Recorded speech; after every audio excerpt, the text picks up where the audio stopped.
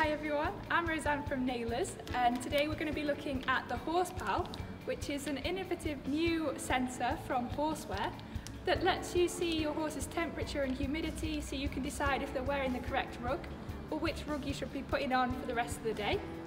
So I'll talk you through what you get in the package and then I'll show you how you put it on your rug and also how to use the app as well. So in the packet you will get this box which contains the sensor and you'll also get this bag with some accessories as well to help you put it on. So we'll have a look in the box that you get. So in this box, if you can see, this is the sensor itself. Um, so it's nice and small, square. You get the back to go on it because obviously you need to put the battery in. Um, and it's designed so that it doesn't restrict your horse's movement. So it's as small as possible and it's, uh, it lays nice and flat because the shape it lays against your horse so it doesn't restrict them in any way. In here you'll also notice we've got some ways of attaching the rug. So you've got a little keyring type ring here and you've also got a little lanyard that you get for free as well um, that you can use to attach it. So we'll talk about those in a minute. And in this other bag that you get we've got some other goodies. So in here we've got some protected bags so this one in particular is used if you're going to stick the rug stick the sensor directly onto your rug. Um, and we've got another one if you're not going to stick it on directly but you're going to use the ring or the lanyard, you get this nice little protective case as well. Um, this just keeps your sensor nice and dry and clean um, so it's not covered in dirt so it can get a nice accurate reading um, and it just generally protects the sensor. And then in here as well We've also got, so what this does, if you imagine the sensor is in your square and you stick this around the square and then you can stick it onto the rug directly on the inside of the rug so it stays nice in place. Um, and this is a really strong sticker. It won't come off if the rug um, gets wet or anything like that.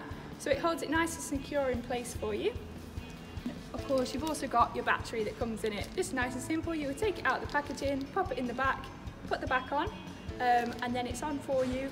Although there is a power button if you ever need to turn it off or on again.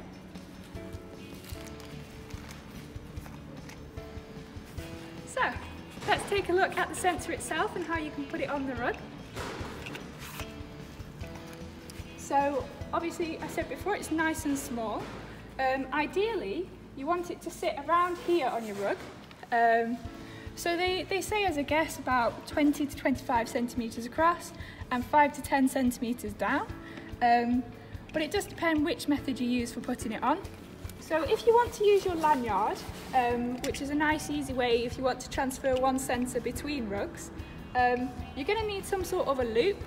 This rug handily has one for a detachable neck um, but you might have it for a rug liner or something like that. If your rug already has loops on, you just pop the lanyard through there and then through this handy hole, which is the perfect size for the lanyard, and you attach it on there so it will hang just below one of the loops and you can have it sit exactly where it should be on your horse. So you want it to sit a bit behind the shoulder and down from the wither so it can lay nice and flat um, so it gets a nice accurate reading from your horse's skin. Um, as you can see here, you've got the front facing outwards, which is important. You want to have that facing out and not facing your horse. And as I mentioned before, if you can see nice and close up, you've got a little power button. So if you ever need to turn it off and on again, you can do uh, just by pressing and holding the little button. Um, if your rug doesn't have any loops, which a lot of them don't, you may want to use the little key ring that we showed you before. So that involves piercing a small hole in the line, lining of the rug Obviously don't pierce the outside of the rug because then it won't be waterproof anymore.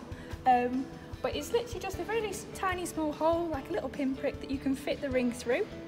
And again, that can then go, this will go in the little small bag that we saw before, the nice protective bag, which you can loop the ring through and it just sits and hangs nicely where it should do. Um, again, just make sure you measure so that you get the right place on the horse. But you can do that before you actually start putting the hole in. And the final option is the sticker, as I showed you before. So if you imagine you've got your square and you're going to stick that onto the rug where you want it. So say if it's around here, you put that on, get your two stickers around the square and you need to leave that for a few hours, so around four hours um, in the dry so that it can stick on properly.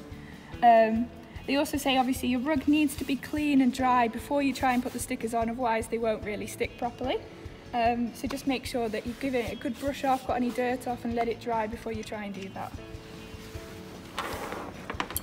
So what I'll do now is just show you the actual app itself, because obviously this is all well and good, but you need to know the temperature of your horse and you can't get that from the sensor.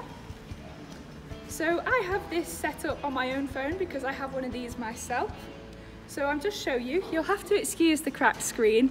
This is what happens when you have horses in your life. So this is the main dashboard of the Horsepal app. As you can see, I have set up one stable and one horse. Um, what I'll do first is just click on the stable. So I called it the Naylor stable, just for fun. Um, so you can put in all of your stable details, including your address um, and contact number and everything, so that you can get directions straight from the app. It opens your apps up, your maps up. So for example, that'll take me straight to my stables if I wanted to do that. Otherwise you can call your stables, you can see all the horses that are on the stables. Um, I just have my one at the moment. And you can have people as well. So if you want to add your owner on there, your vet, you can put all their contact details in and any other information you want to hold about that person. Um, you can put notes about when you next need to see the vet or the dentist, for example. So that's really handy. And then obviously you've got your horses. So this is my horse Patch. We're going to pretend for today that um, the horse behind me is Patch. Obviously I haven't got my sensor attached to this horse. Um, but you'll see here the overview that you're given. Um, so that gives you a brief idea from the last reading of your horse's temperature and humidity levels. So if these numbers are green, oh, sorry, then that means they are within the horse's comfort zones. So obviously my horse was at a comfortable temperature when this was red, but the humidity levels were slightly high. Um, if you want to, you can alter the comfort levels for your horse if you know that they're specifically more comfortable at certain temperatures, etc. On your horse, when you set it up, you can put all of their details in. So you can put all of their name, their breeding, their passport number, FEI number, everything you could think to need. So you've got it all in one place. Um, from there you can also do your breeding. So you can have a whole family tree set up. Um, and you can also invite people to be involved with your horse. So for, for example, you might invite your yard owner to the app so that they can also monitor your horse and they can uh, they can have all their details saved in here. You can have documents too, which is really useful to keep everything in one place. Um, I've just got a passport on here, but you could put all sorts on there, whether it's competition results, so you can keep track of how well you're doing, stuff like that. And my favourite thing on the whole app is this, the Rug Advisor. So this uses weather forecasts and it uses um, lots of different information about horses and what temperatures they're comfortable in to predict what weight of rug you should be using. So as you can see, we're not having very good weather at the minute. It's very wet. Um, but based on the temperature, it told me that today, although it's wet, it's actually quite hot. So it should be too hot in a lightweight, so it's gone for a fly weight. But as you can see throughout the week, it's actually telling me lightweight rug because it's going to rain and it's going to be a bit chilly. Um, and it splits it day and night because obviously if your horse is turned out at night they're going to want a different rug on most of the time. Um, so yeah, this is absolutely brilliant in terms of in the morning I don't have to think oh like what's the weather going to be like, will she be too hot in this or that? I can go on my rug predictor and I can just think okay lightweight rug, throw it on and off I go. So obviously you've got your sensor on. If you want to update um, your sensor's reading you can click monitor horses. So you can be, if you're within a certain distance to your horse, you can click that and it'll do a check. Obviously mine's not set up on this horse, so it won't find it unfortunately. Um, but you can check. So you can make it update itself and you get all the information to your phone really quickly. So yeah, that's the Horsepal app and the sensor. And the great thing is, it is actually really reasonably priced as well. Um, so considering all the information it gives you, um, it's actually really well priced. I've just actually got one more feature to show you actually. So, once you've been gathering data for a little while, um, you can get these graphs put together. So these will show your horse's temperature and humidity, but over a period of time. So this can help you to decide if they were in their comfort zones, and if so, what was the temperature like, what was the weather like. So in the long run, you can actually start to make the decision yourself, and in the morning you might not need to check your app. You can be like, okay, she only needs a fly rug, or she only needs a lightweight, or she needs a heavyweight. So you can do that all yourself because you'll get to really know your own horse and what's comfortable for them.